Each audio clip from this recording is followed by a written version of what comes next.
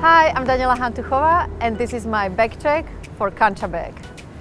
Since I am a retired tennis player, obviously I still play tennis quite a bit, but I think uh, what I have in my bag these days is completely different to my tennis days. Um, and this is why I love my Cancha bag because it just doesn't look like a tennis bag. I can take this to my TV work, I can take this for a hike uh, when I play golf, so it just uh, combines beautifully the lifestyle that I live in these days. And uh, let me just show you what I've got inside.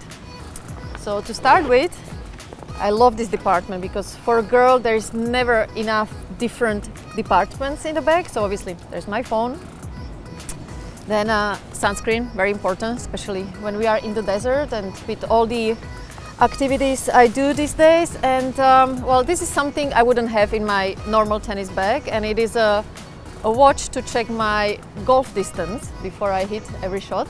So it's a nice new addition to my life because I'm becoming a huge golfer fan. Um, always carrying on some kind of a protein bar or some something for energy because I love to stay active all day long and obviously they takes a lot out of my body. And let's go to the main department where, well, there is always one. and it's funny because even after I retired, I always had this thing in my head that wherever I go, I have to have one tennis racket with me. I don't know why, I just feel safer. I guess it's my DNA and I know I'm gonna be a tennis player forever. So um, that's why I love my Cancha bag, but th that there is always space for one racket.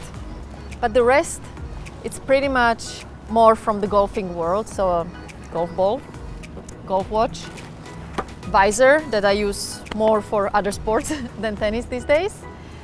Um, cover of from my putting club, golf glove. So yeah, as you can see, more of a golf stuff, but I do normally carry just one set of tennis ball in case someone wants to hit, uh, which I'm always up for, and even tennis grips.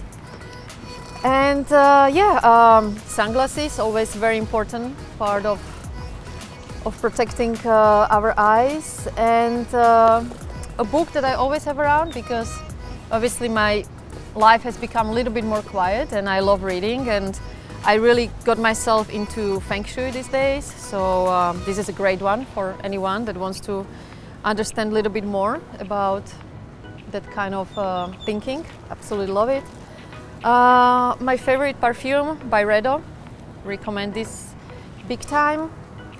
And uh, bottle of water, which is always important, especially when we are in places like this, when you're traveling, being active all day long. So uh, yeah, it's a, it's a, I would say a different kind of uh, setup what I've got in my Cancha bag these days, but uh, it just shows that uh, sport is always going to be part of my life and I'm very grateful that I get to try so many new sports these days, uh, something I didn't have time when I was um, still active as a tennis player and uh, and that's why, honestly, I love this bag so much because it covers all the different activities that I do throughout the day.